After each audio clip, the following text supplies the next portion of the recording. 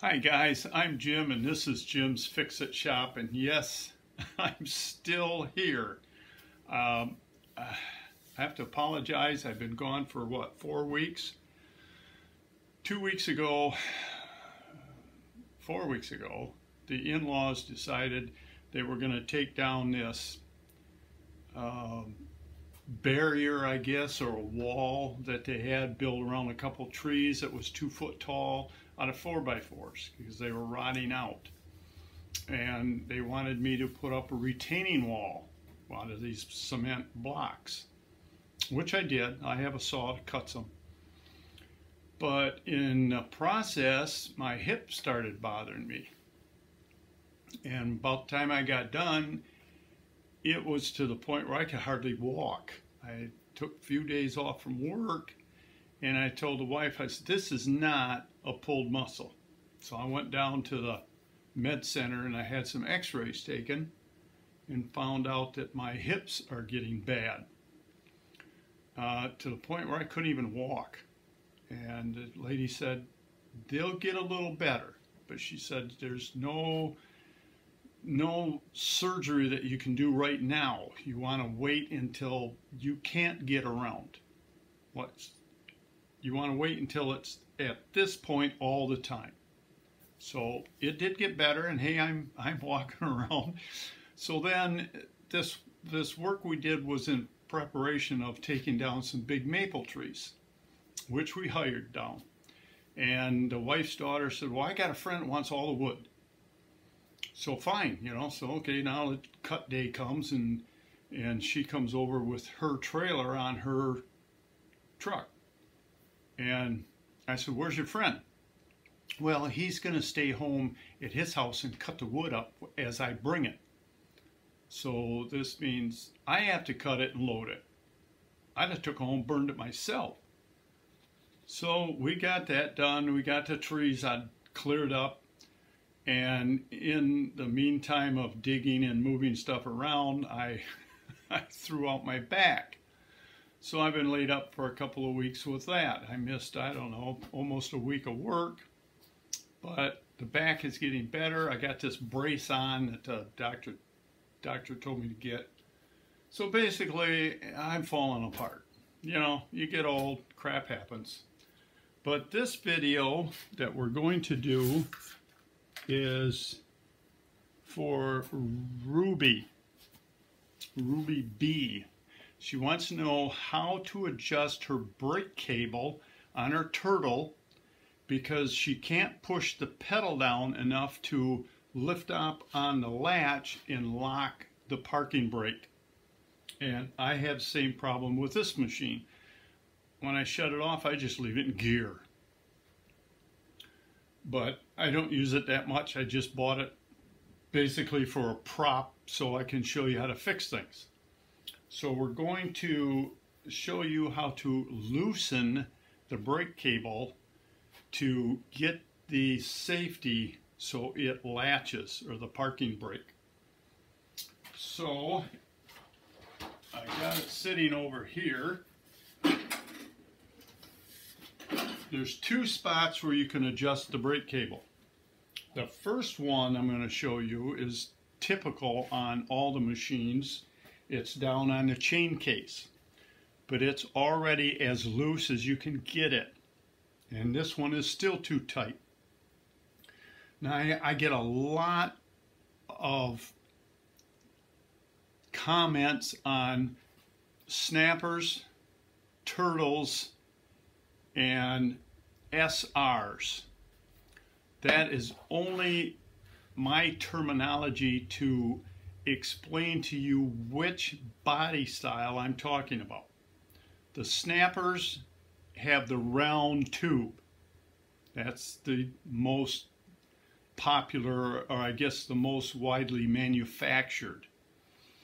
Then when Briggs and Stratton bought them, they started building these turtles, which was a big mistake. Now they're back to the round tubes. The SRs are the machines with the rectangular tubes. Typically, they are a better machine. I don't like them personally because they're harder to work on. but they have bearings in the fenders instead of bushings, but not all of them. If you're buying one for parts, make sure you check to see if it has bearings or bushings, because some have bushings. The SRs they haven't made in 20 years. They were a more of a tough series, like the uh, regular snappers had a tough series. I believe they made them because they had implements you could put on your snapper. Like we all use the Thatchers. That's not a big issue. Some of them had plows. Some of them had snow blowers.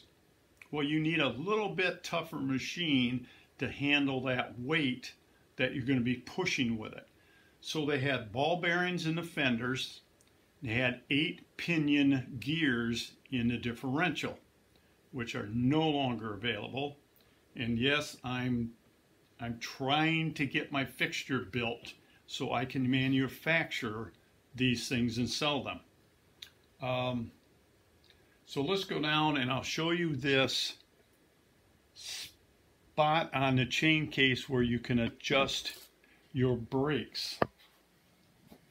Let me grab a flashlight while I'm going here.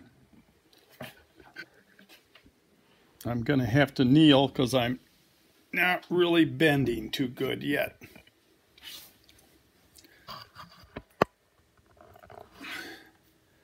Okay, this is the adjustment here for the brake. The farther you back this screw out, the tighter it makes the brake cable. As you can see, mine is all the way down, as loose as you can get it. The brake still works good, but you can't put it in uh, park.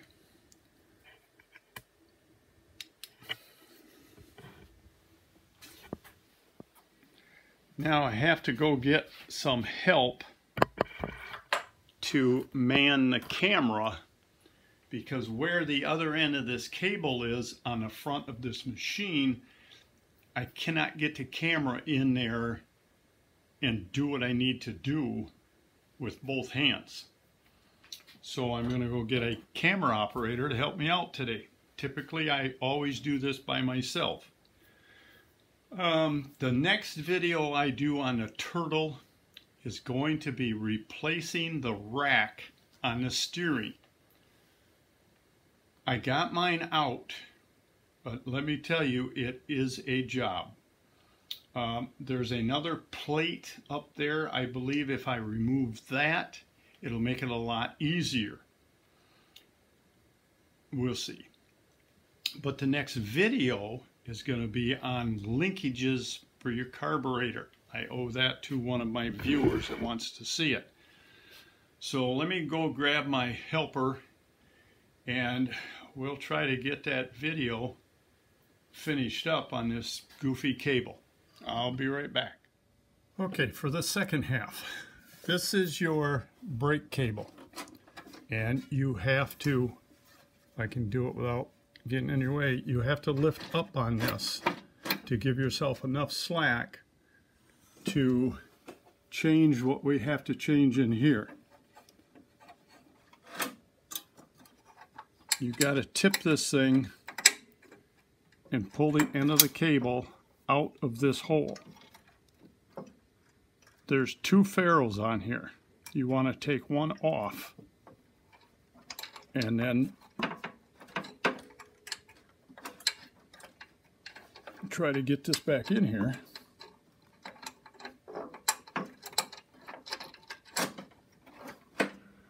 That will give you enough slack to get your parking brake set.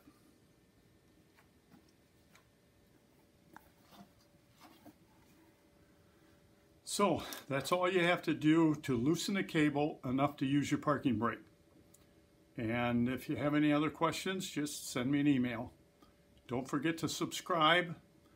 And until next time, work safe, have fun, and we'll talk to you soon. So long.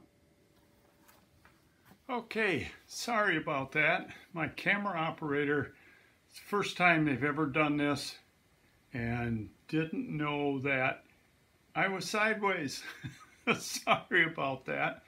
But I did forget to mention once you loosen up uh, the cable by removing one ferrule, you might want to try it to see if it's loose enough. And if you can get the parking brake set, then you want to make sure the clutch is working properly and the brakes are working. If by loosening that cable up, you loosen both of them, the brakes and the clutch. So you may have to go back down on the chain case and tighten that a little bit to get the brakes to work the way you want them and be extremely careful standing these things up. They do not recommend you stand them up because they are so top heavy once they're standing up because of this massive hunk of iron they got on the end of this thing. So be careful. The, the best thing I can suggest is get one of them rope hoists and either hook it to a rafter in your garage or a big limb on a tree in your yard to lift this thing up with. And uh, like I said before, if you need any help, send me an email. And uh, until next time, work safe, have fun, please subscribe, and we'll talk to you soon. So long.